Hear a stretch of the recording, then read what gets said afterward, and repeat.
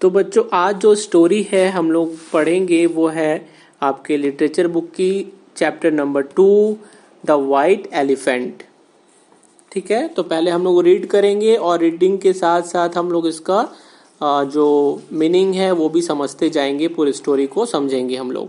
ठीक है? Long ago a great herd of elephants lived in a forest near the Himalaya mountains. बहुत समय पहले, एलिफेंट का एक झुंड हर्ड मतलब हर्ड ऑफ़ एलिफेंट्स का मतलब होता है हाथियों का झुंड। वो एक जंगल के नज़दीक, एक फॉरेस्ट में एक हिमा, जो हमारा हिमालय माउंटेन्स है, उसके नज़दीक एक फॉरेस्ट में, एक जंगल में रहता था, एक हाथियों का झुंड। The finest elephant in the tribe was a rare white animal और उन जो एलिफेंट का झुंड था, उसमें सबसे रेयरेस्ट यानी जो बहुत मुश्किल से दिखे, बहुत मुश्किल से मिले, वो जो एनिमल था, वो था वाइट एनिमल यानी वाइट एलिफेंट अनफॉर्चुनेटली यानी दुर्भाग्यवश the mother of this elephant was old and blind लेकिन ये जो वाइट एलिफेंट है, उसकी जो माँ है वो ओल्ड है, यानी काफ़ी बूढ़ी है और साथ ही साथ में अंधी भी है ब्लाइंड भी है। ठीक है? Although her son gathered sweet wild fruits for her every day he was often angry to find that the other elephants had stolen his mother's food बेचारा ये जो बच्चा है वाइट एलिफेंट वो अपनी माँ के लिए हर दिन जंगल से फ्रूट्स लेकर के आता है हर दिन कि मेरी माँ तो अंधी है, कैसे खाने जाएगी? तो अपनी माँ के लिए वो फ्रूट्स लेकर के हर दिन आता है मीठे मीठे फ्रूट्स जंगली फ्रूट्स जो भी होते हैं, वो लेकर के आता है। लेकिन उसको बहुत गुस्सा आता है यह देख करके कि जो दूसरे एनिमल्स या दूसरे एलिफेंट होते हैं, वो उसके सामने से फ्रूट्स चोरी करके ले जाते हैं। कैसे? और क्यों ले जाते हैं चोरी करके? उसका कारण है। वो चोरी करके इसलिए ले जाते हैं क्योंकि उसकी माँ जो है वो क्या है, अंधी है, वो देख नहीं सकती है, बूढ़ी भी है साथ में तो चुपके से आ करके चोरी करके लेकर के चले जाते हैं ये लोग। तो इसके चलते जो है हमारा व्हाइट एलिफेंट जो है वो बहुत ज़्यादा नाराज़ हो जाता है और कहता है, mother he said it would be better if you and I were to go and live alone in a distant cave I have discovered कहता है, माँ, मैंने एक केव, मैंने एक गुफा डिस्कवर की है जो जंगल के एकदम दूर में है। क्यों ना हम लोग वहाँ चले?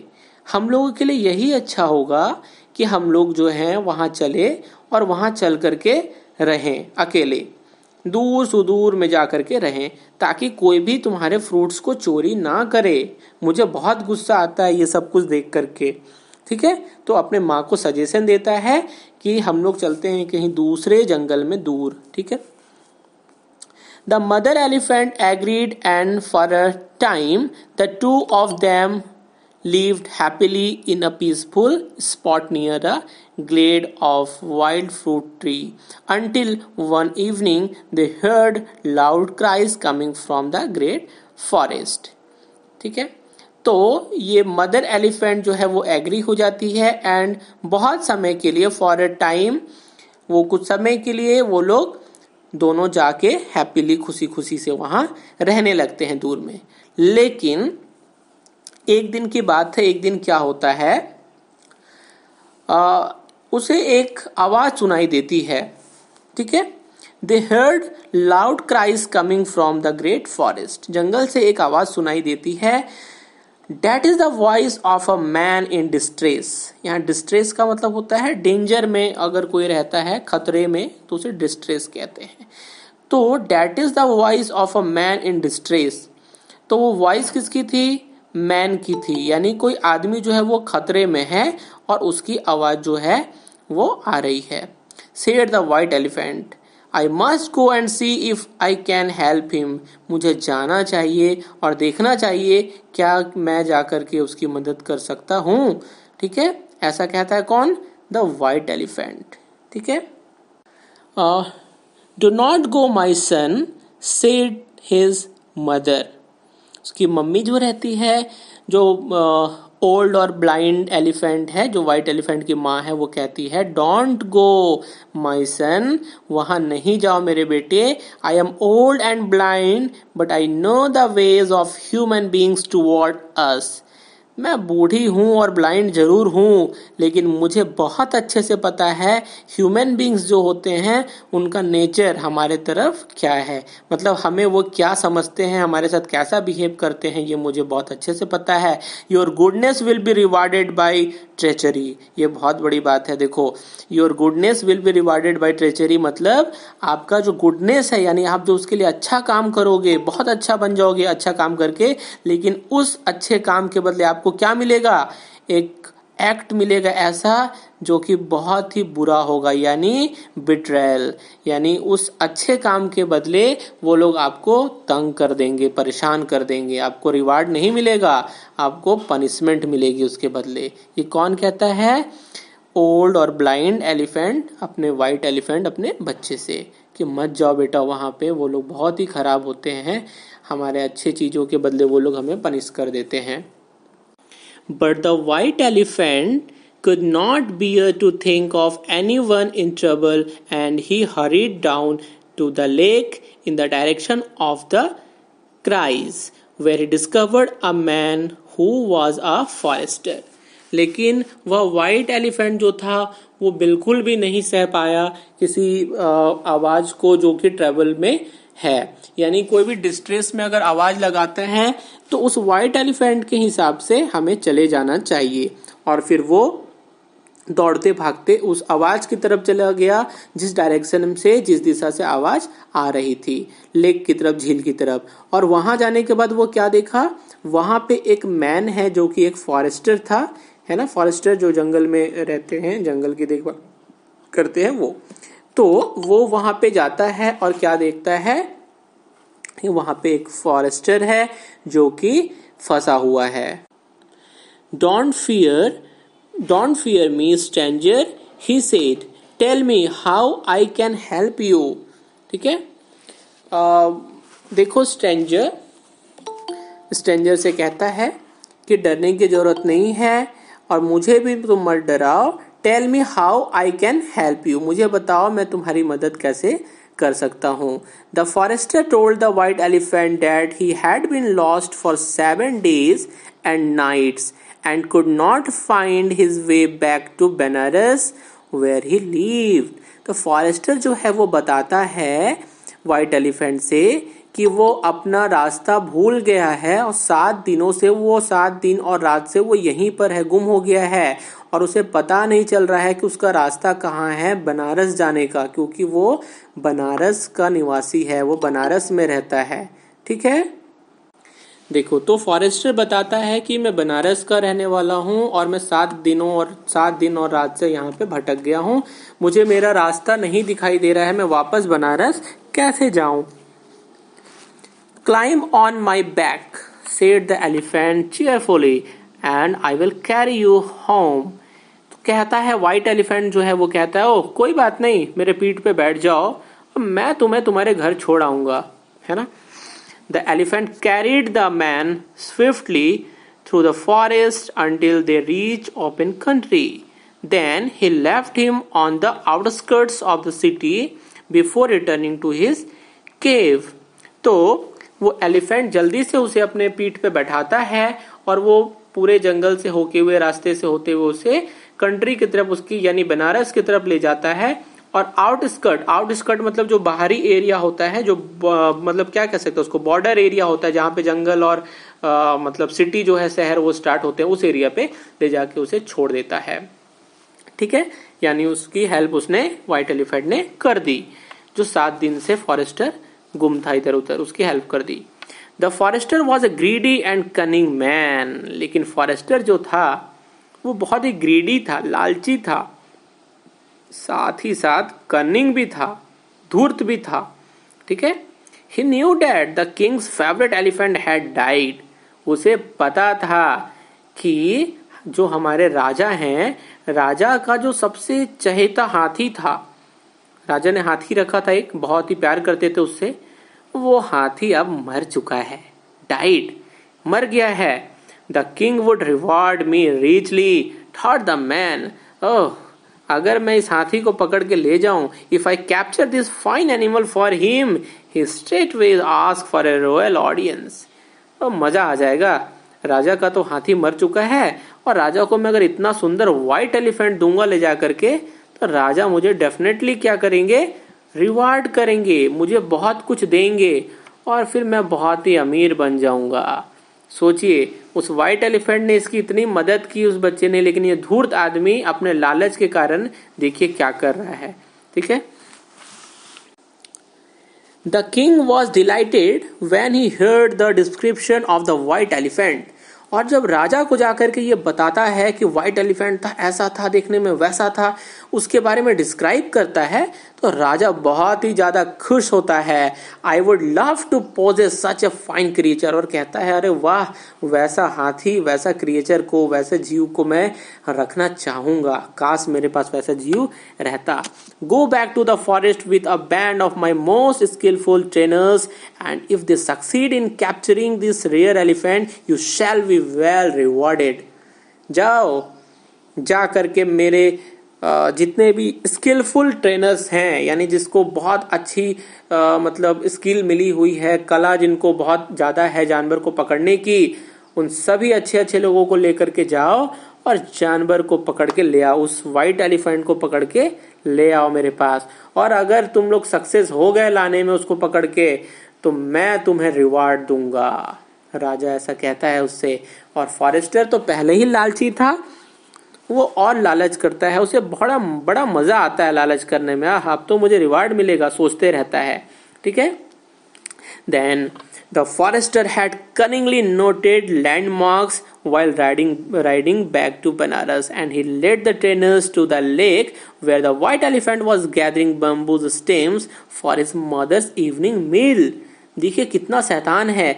जब वो उसके पीठ पे बैठ करके आ रहा था, जब हाथी उसे छोड़ने के लिए आ रही थी, उस समय ही इसने अपना प्लान कर लिया था और सारे रास्ते को ध्यान से उसके पीठ पे बैठ करके देख लिया था कि कहाँ कहाँ से लेकर के मुझे हाथी जा रहा है। बाद में मैं इसे फिर पकड़ने के लिए आऊँगा।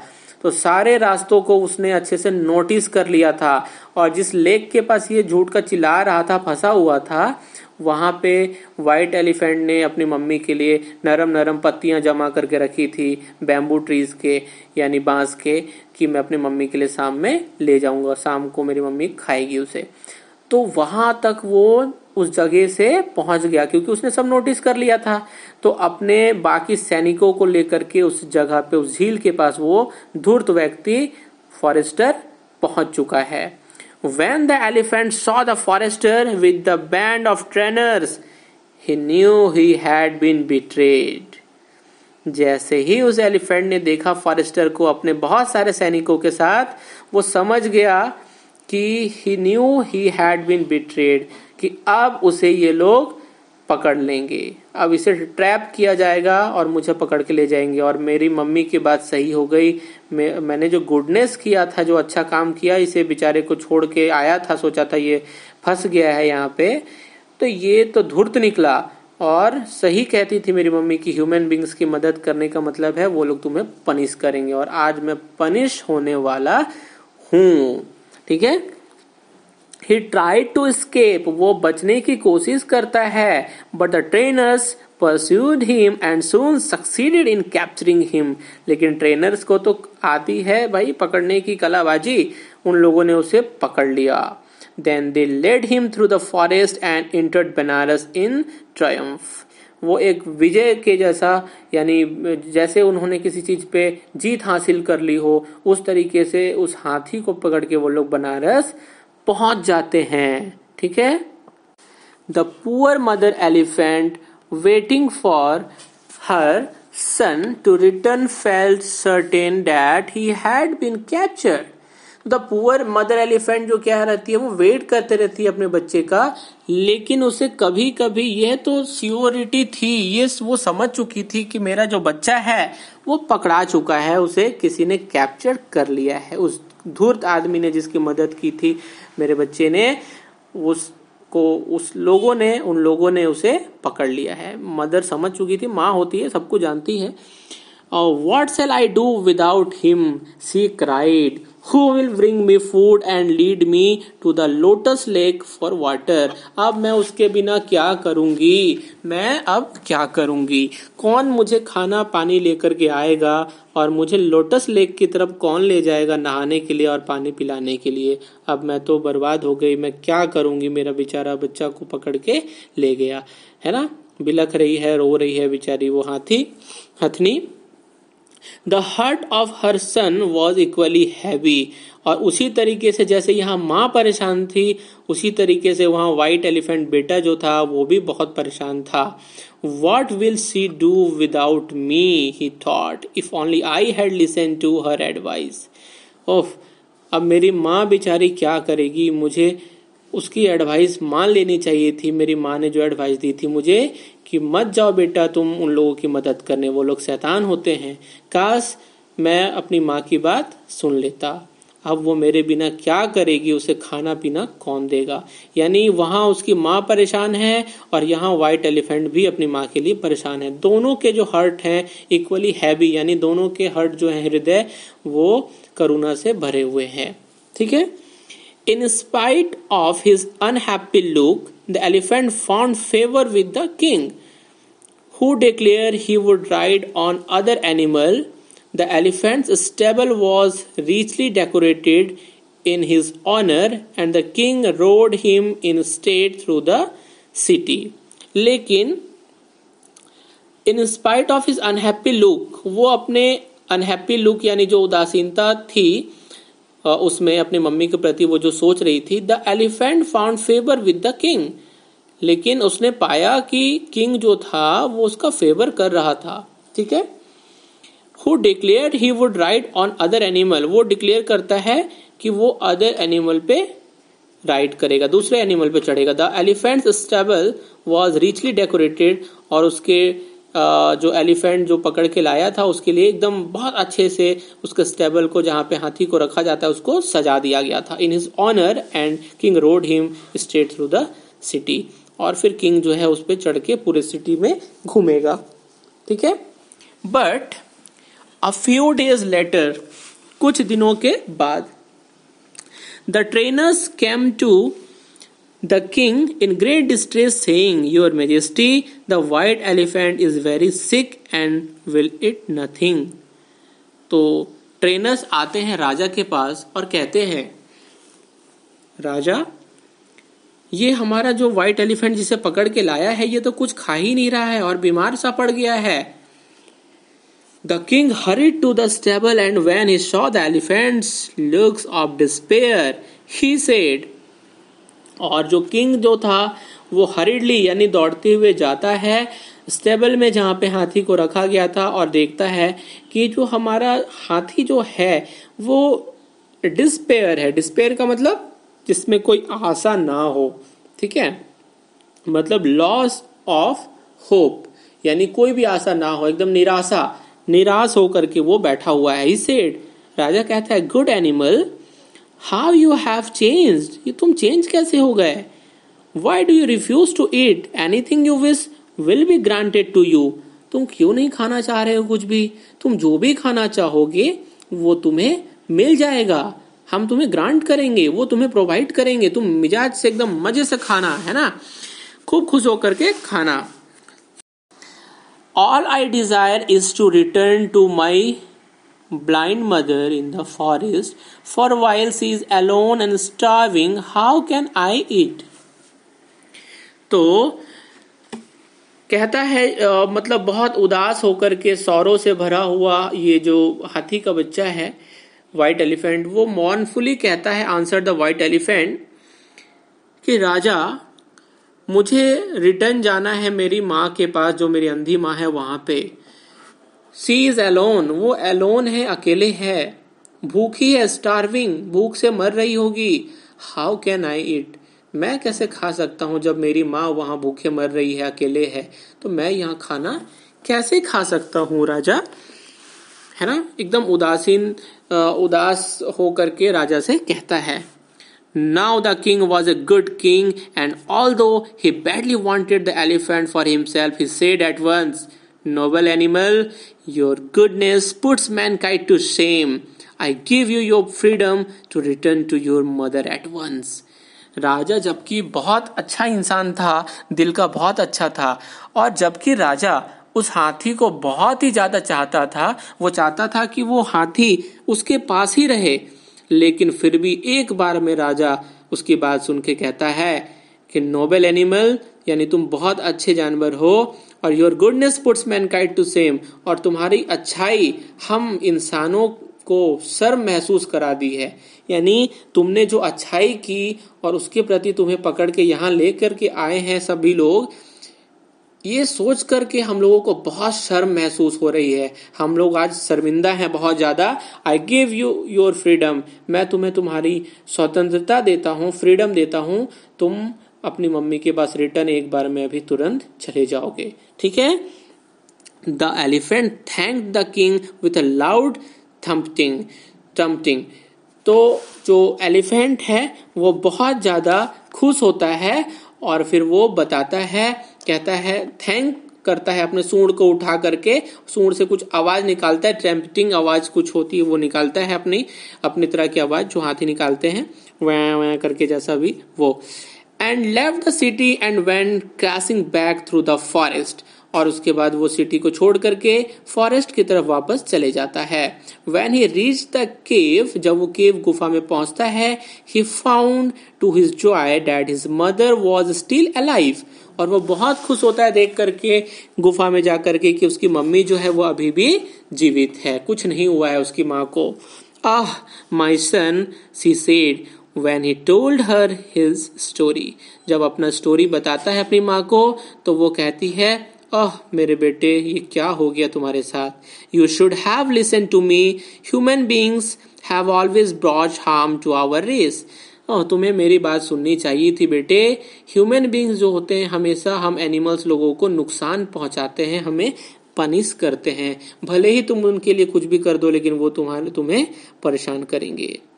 Not all of them mother he said trumpetingly वो कहता है कि नहीं, मम्मी, ऐसा नहीं है। और वो कैसे कहता है?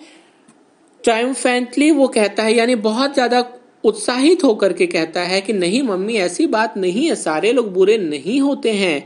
The king is noble and generous और I should still be in captivity यानी अभी भी मैं बंदी बने रहता इम्प्रिजमेंट यानी मैं अभी भी वहाँ पे बंदी बने रहता और मुझे बंदी बना के लोग रखे रहते। लेकिन क्योंकि राजा एक अच्छा इंसान था तो उसने मुझे छोड़ दिया। तो इसीलिए मम्मी, सारे इंसान को एक जैसा सोचना गलत बात है। राजा है अच्छा इंसान। फॉरेस्टर धूर्त था, लेकिन राजा अच्छा है। तो सारे लोग एक जैसे नहीं होते हैं। Let's forget the treachery of the forester and think only of the king's goodness अरे मम्मी, छोड़ो। वो जो धूर्त था, धूर्त की बात को भूल जाओ, छोड़ दो। और सिर्फ़ राजा की अच्छाई को सोचो तो कितना अच्छा लगता है। राजा का गुडनेस मेरे गुडनेस के बराबर है। मैंने जो गुडनेस किया, उन लोगों के लिए जो भी अच्छा किया, और राजा ने भी मेरे साथ अच्छा किया। तो सारे लोग जो होते